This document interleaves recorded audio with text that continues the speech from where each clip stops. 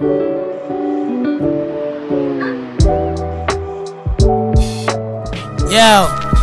ha ha. Bill Nicholson. Hmm. Is there such a thing as too much elephant print? What is good, YouTube? Your boy Miltnificent coming back with another quick video. And today, well, the Air Jordan 1 elephant print and the Air Jordan 2 white cements drop. Now, I'm looking at both shoes and specifically the Air Jordan 1 elephant print. I get it. Paying homage to the Air Jordan 3 and let's just cover it with a bunch of elephant print. But I'm not sure how the community feels about this release. I feel like both pairs may sit a while. And the reason why I'm saying that is because next weekend, well, this is dropping.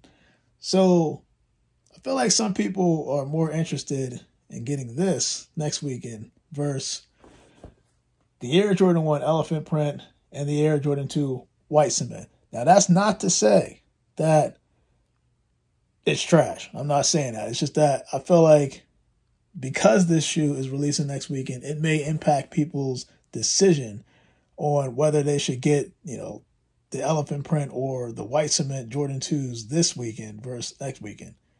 That makes sense. Your boy obviously skipped both pairs, and quite frankly, while I think it's okay, it's just not something that I know that I will wear. I cannot see myself wearing the elephant prints, and nor do I see myself wearing Jordan 2 a white cement. I mean, honestly, the only th- only thing white I have in my lineup, to be honest, that's majority white, is the Jordan 4 Oreos. Yeah, these. That came out, I think it was what, 2021, if I'm not mistaken. So, I don't know. Comment below. Let me know if you cop the Air Jordan 1 elephant print or the Air Jordan 2 white cement, I, I really strongly believe that this should not be a problem for anybody to get sizes. It shouldn't be a problem.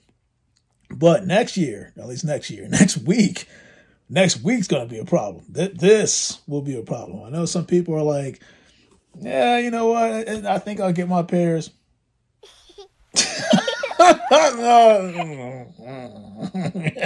but your boy Miltnificent Man, today is Saturday. I am out, and, and quite frankly, that's just, I'm sorry, it's just, no. that's just me. I am out, and you guys stay blessed.